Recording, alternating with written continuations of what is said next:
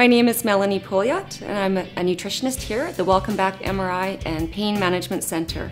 I've been in the health and wellness industry for approximately 20 years. I'm happy to be here today to share some health tips of how to stay healthy in the workplace.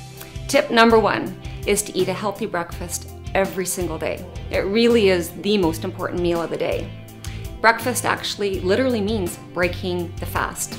There are many benefits to having a healthy breakfast in the morning. One, it jumpstarts your metabolism and keeps your blood sugar levels even all day, preventing the cravings for junk food and that caffeine pick me up. It's great for balancing your brain, feeding the brain, and keeping you sharp and focused and clear throughout your day. For balancing hormones and assisting an elevated mood. And of course, everybody likes a happy coworker. Great for energy levels and keeping you sustained throughout your workday. So, what does a healthy breakfast look like? Something like your large flake oats or steel cut oats instead of quick oats because the large flake oats, they do take longer to cook, but they sustain you longer and keep your blood sugar levels balanced. Quick oats are a quick burn and they can send your blood sugar levels on a roller coaster throughout the day.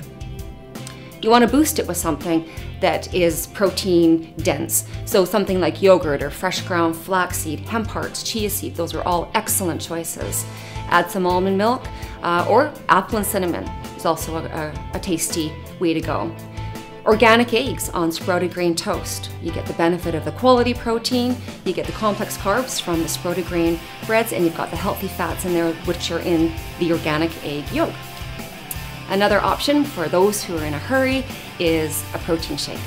So you can put in a quality whey protein or a protein of choice, but then you want to boost it. Put in the, the fruit, the antioxidants from the frozen berries. Lecithin, great for brain power but also your ground flax because you want the healthy fats that are in the flax, or even some flaxseed oil is a great choice.